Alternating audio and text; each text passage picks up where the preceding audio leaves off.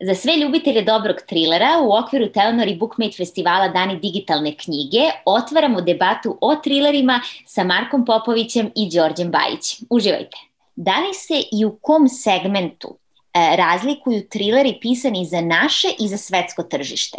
Da li, da li ima neke razlike? Pa ima razlike, znači u tome što ovi trileri koji su pisani za naše tržište su samo za naše tržište, a ovi trileri, znači strani su i za naše i za svetsko, tako da ovaj, za razliku recimo od naravno aglo, aglosaksonskog sveta koji je već ono kao decenijama jako ovaj, probitačan, Amerikanci, Englezi, pa onda kasnije i Francuzi, Španci koji imaju već onako prilično razgranatu o, mrežu e, trilera, kriminalističkih romana, znači dosta pisaca se bavi tim žanrom, mm -hmm. pa su im se skandinavci pridružili još kako u poslednje vreme, mada čak ne ni u poslednje, već o decenijama pričamo. A, jednostavno ti romani su vrlo često prevođeni i vrlo često imaju tu neku međunarodnu, neki međunarodni život.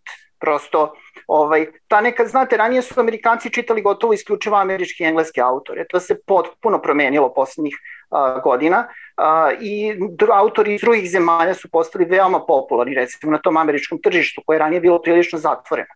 Naravno, kada pričamo, pričamo o kriminalističkim romanima.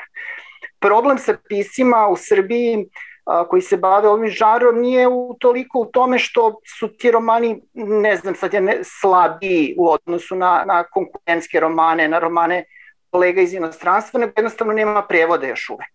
Mhm. Prevodi su dosta skupi i prosto znači jedan roman sa srpskog treba prevesti, ja mislim pre svega na engleski, a to je jedno prilično veliko ulaganje i čini mi se da, eto, o, redko šta se prevede zapravo, onda samim tim redko šta ima neku, da kaže, mogućnost da u svetu napravi neki trag, da bude primećeno, čitano i tako dalje. Dakle, naravno nije, nije slučaj samo sa trilerima, izvini, što naravno nije slučaj samo sa trilerima, nego je slučaj sa svim romanima. Da, ne manjkamo u kvalitetu, već e, u stvari manjkamo u financijama da to izbacimo na internacionalno tržište. Pa dobro, mislim sad s jedne strane stoji da je naše tržište relativno malo, pa sad i procentualno, mislim ako pogledamo broj pisaca koji se bave trilerima i kriminalističkim romanima, nije sad to ne znam ja koliko veliki broj. Naravno da ima mnogo više kriminalističkih pisaca u Americi, u Britaniji i tako dalje ne samo zbog tradicije, nego prosto što su to veće zemlje, pa onda ima više pisaca.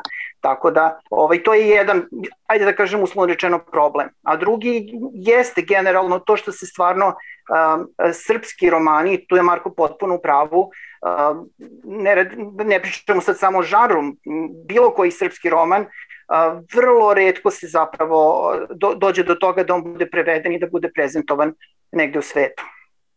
Malo. E, da, ali i, i malo nam je, to što se tiče trilera, još uvek kod nas je e, zaista, e, nažalost, mali broj trilera u Srbiji. Sad ne da ga poredimo sa nekim velikim zemljama koje je Đorđe pomenuo sa Skandinavijom, sa Španijom, govorim o evropskim zemljama nego je to da ga poredimo sa Grčkom, jel? Ajde, Đorđe, ja možemo da se pohvalim da smo prevođeni, kad smo rekli da, da nema prevoda, mi smo, mi, smo prevođeni, jedna naša... Marko samo hvali u ovoj debati. Pa ja, od, zato smo mi gost.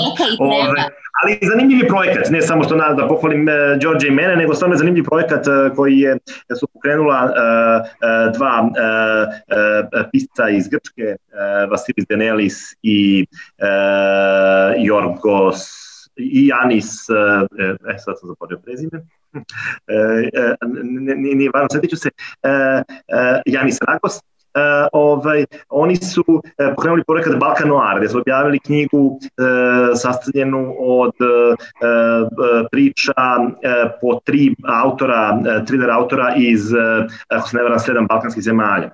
-hmm. I ta knjiga je prevedena, odnosno sve te priče su prevedene na grčki, objavljene, objavljene su u grčkoj i sada takođe nastavljamo u, e, dalje saradnju i, e, e, i, i širenje te Balkan Noir priče, ali pominjem iz razloga što, na primjer, u Grčkoj je broj e, knjiga i e, trilera koji se pišu neuporedivo, odnosno na Srbiju, a iste je ili malo, da kažemo, sličan broj stanovnika, tako da i niti Grčka ima neku veliku tradiciju, neznačajniju tradiciju nego što imamo mi, ali u poslednjih 20 godina oni su zaista uzezetno napredovali i već su došli do neke cifre od 70-80 uh, thriller knjige godišnje koje se objave u uh, uh, koje se objave tamo, kod nas je taj broj znatno, znatno skromniji, ali tu veliku pro, pro, produkciju romana prati i značajnija podrška kroz sve druge vidove, pre svega kroz kritiku. To ono što trenutno kod nas nedostaje, nedostaje adekvatna kritika koja bi na neki način selektovala dobre od loših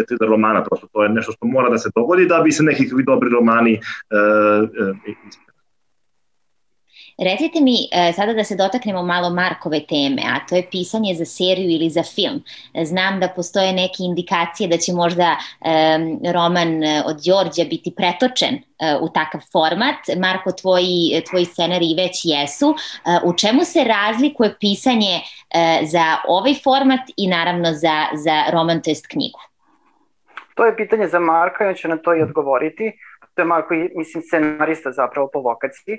Tako da, a pre toga ja samo želim da dodam, mislim da je to važno da se pomene, da u ovoj zbirci Balkanuar koju je pomenuo Marko, da je uz naše priče, znači uh, Markovu i moju, objavljene, objavljene priče naše koleginice Verice Vincent Kohl i da je da, neku vrstu predgovora kraćeg napisala Mirjana Novaković.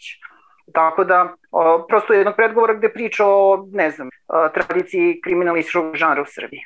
Tako da, ovaj, eto, to je onako jedna, le, jedna lepa ovaj, četvorka zapravo ovaj, Srpska je učestvovala u tom projektu i eto, to jeste konkretno moj prvi prevod. A sad će Marko da objasni ovo serije za filmom.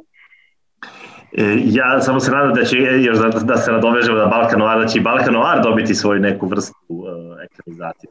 Pa bilo je neke priče, je li tako? Bilo je, jeste i bilo je i rada i polako, to je veliki projekat, uh, ali se zaista nadam da bi to bila fenomenalna serija koja bi se snimala u nekoliko balkanskih zemalja i koji bi pisali i režirali uh, pisci i rejtelji iz svih tih zemalja. Mislim da bi to moglo se napraviti jedna uh, izuzetna, izuzetna projekat koji bi bio i veoma gledan. A što se tiče tvojeg pitanja, razlika između pisanja E, pa do, dosta je razlika. Meni e,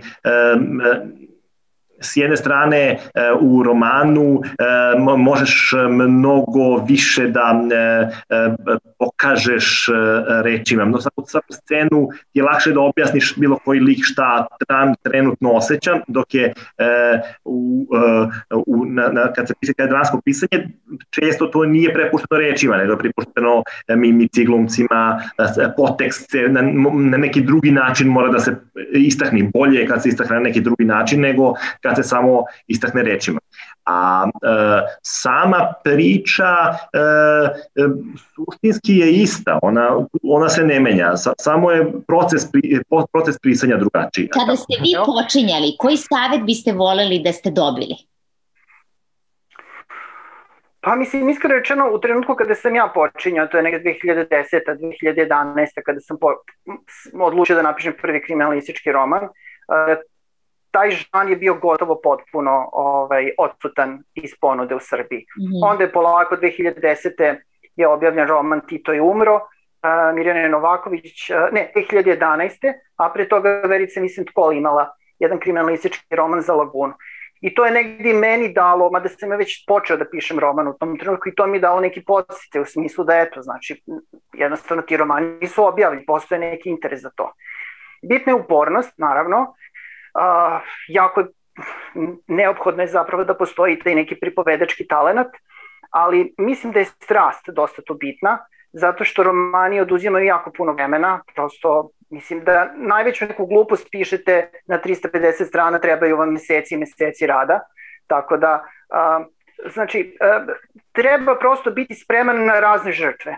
Uh, ja konkretno, uh, eto, ovo mi je četvrti roman jeli, koji sam napisao, napisao sam jedno 10-15 priča, uh, tu novca nema, u onom smislu da se čovek može da živi od tog pisanja. Znači, neki honorarčić, neki procenat, to da, ali u suštini od toga ne može da se živi. Tako da je to nešto, bar ajde pričam iz svoje perspektive, a mislim da je tako u slučaju 98%. Dobro, tek si sad izdao za lagunu, čekaj da vidiš sad druga perspektiva.